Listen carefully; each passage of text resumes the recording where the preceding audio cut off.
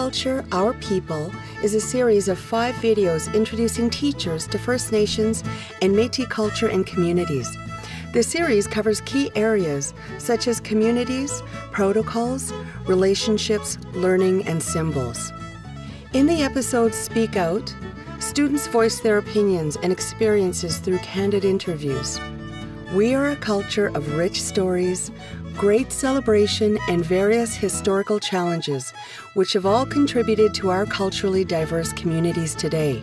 We want our teachers to feel confident and comfortable in our communities.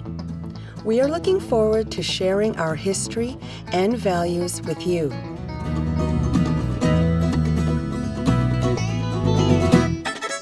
Northern Lights School Division consists of 26 schools and three division offices in a widely dispersed geographical location known as Alberta's Lakeland.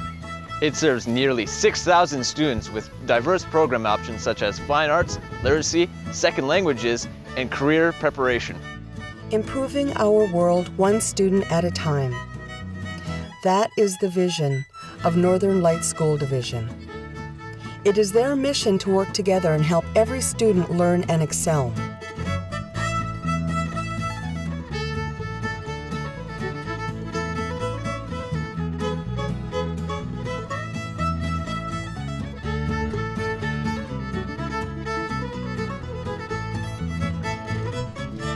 Part of your community.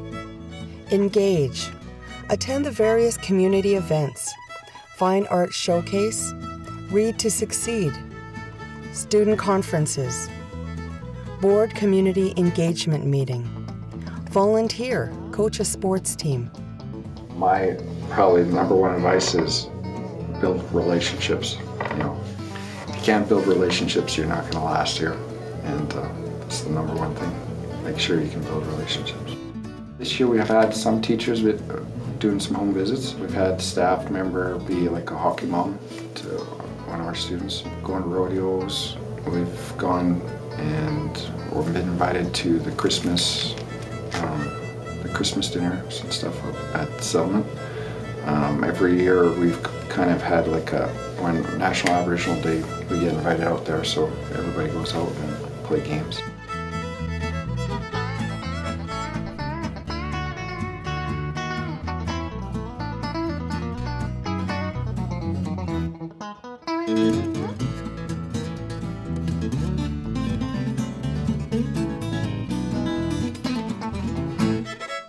First of all, I would ask, what do you know about the Aboriginal culture? What do you know about it? Like, what have you heard or what have you seen?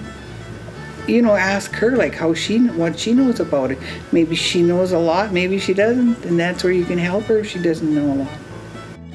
Um, I think the thing that is is very important for in, in an Aboriginal context is the relationships between the teachers and the students and how the students are made to feel affects how the relationship between the parents or grandparents or whoever the aunts and uncles um, is with the teachers. Well, being a student, of course, well, everybody knows what that's like, and being young, but the difference is like um, there's maybe 15 to 20 kids in your class, and um, maybe there's 100 kids in that school compared to like some of the schools in the city which have a lot more than that. That's why relationships are really important. I remember having teachers as I got older, they brought new teachers in just about every year and all the teachers were um, from outside the settlement. But um, I remember the bonds between me and them weren't very strong. Like they weren't as strong as like they were when I was younger. Maybe it was just because I got older and I got more stubborn, but that aside, I believe that even when you're older, it's still important to make that bond. Not just Aboriginal students, like for any student, there needs to be that relationship to connect with that child, but I think especially for Aboriginal children, because traditionally that's how they learn, right? They learn from relations and relatives. Like they're all one big family. Even if they weren't in the family, they're all together like a family. And they learn from each other. And that's how they would learn, like if there's a relationship between teacher, they would feel like family. Kids need to know that you care about them before they'll open up to you and they'll they'll do more things for you. They'll they'll learn. They'll uh, they'll try to please you if you know if they know that you're interested in in their personal lives and, and what they what what their interests are. There's a lot of the kids that are have low self-esteem, like an extra, or even like saying hi, how are you doing today?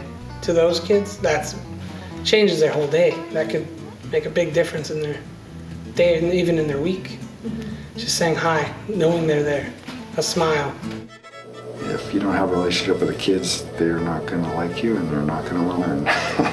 or they're not going to want to listen to anything you got to say. They're really good at figuring out if you don't like them. And they will not buy into anything you do. So. You grow up with your family in Kikino, and to be around everyone else is just, that's a big change. It's a big difference. I had Métis teachers teach me in grade 5 to 6. I even had the same teacher from grade 5 to grade 6.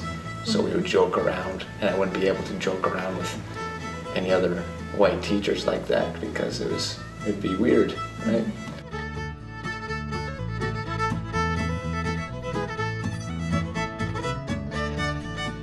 There's rules in your community, so you know that you can joke with a person in a certain way. Yeah. Um, you can make fun of certain things, and it's okay.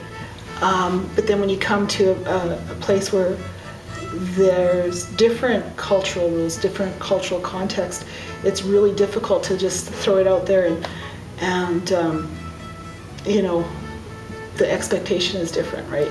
I, I find that probably I enjoy teaching, I'm gonna say 200, 300% more in a small town than I would in a city because I get to keep seeing students that I've taught on the streets. I see, you know, parents, I, I've made connections. Like I know a lot of people in this town and uh, it's because of teaching. So it's really important that, that, that I remain in a small town. I just love it, love it because of that. It's family making, and I mean, especially in Aboriginal communities, that's that's the thing is is you belong, your family is there, you have that support, you know you're supported.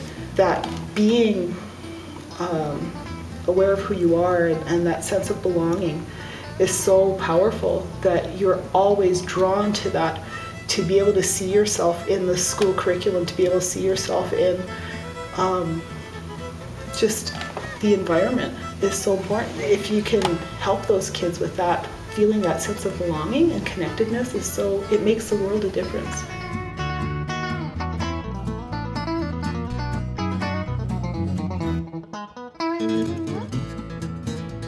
Structured Beginning Teacher Mentorship Program, which gives new staff members an opportunity to learn and share with other new teachers.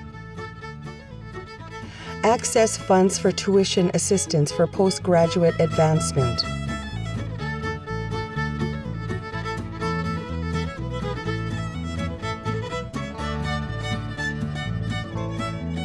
Opportunity to attend national and international conferences salary and benefit packages that rank among the best in Alberta.